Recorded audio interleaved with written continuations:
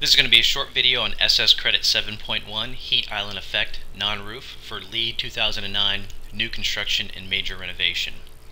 A quick summary of the credit. Its intent is to reduce heat islands to minimize impacts on microclimates and human and wildlife habitats.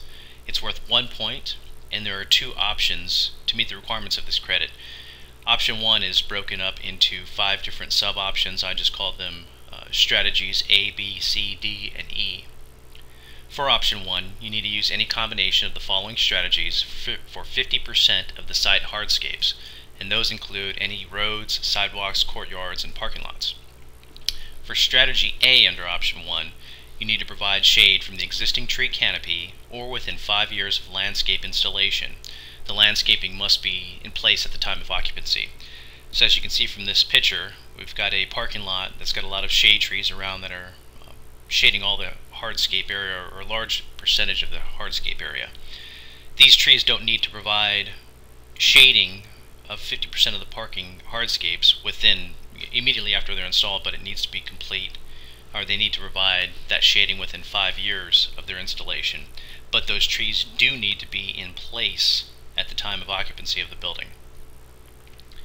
Strategy B is to provide shade from structures that are covered by solar panels that produce energy used to offset some non-renewable resource use.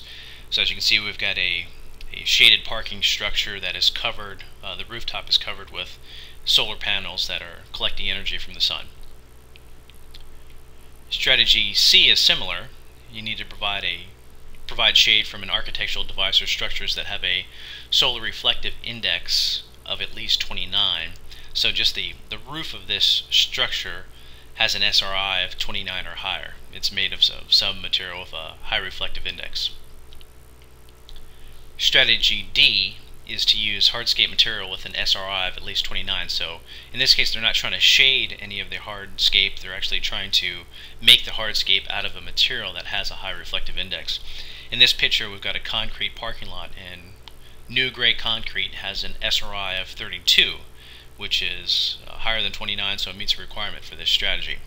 Finally, we've got strategy E, and it's to use an open grid pavement system. And the that pavement grid needs to be at least 50% pervious. So as you can see from the picture, just a, uh, an example grid, and it's at least 50% pervious. For option 2, you need to place a minimum of 50% of the parking spaces under cover. Any roof used to shade or cover this parking area must have an SRI of at least 29, be a vegetative green roof, or be covered by solar panels that produce energy used to offset some non-renewable resource use.